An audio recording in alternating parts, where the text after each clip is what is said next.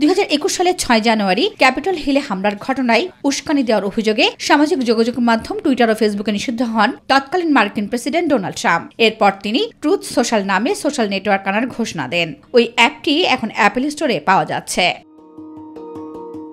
রোববার রাত থেকে অ্যাপল স্টোর থেকে এই অ্যাপ সহজেই ডাউনলোড করা যাচ্ছে। তবে যারা আগে এটি অর্ডার করে রেখেছেন, তাদের ডিভাইসে স্বয়ংক্রিয়ভাবে এটি ডাউনলোড হয়েছে। এর ব্যাপক চাহিদার কারণে বেশ বড় সংখ্যক ব্যবহারকারীদের অপেক্ষমান তালিকায়ও রাখা হয়েছে।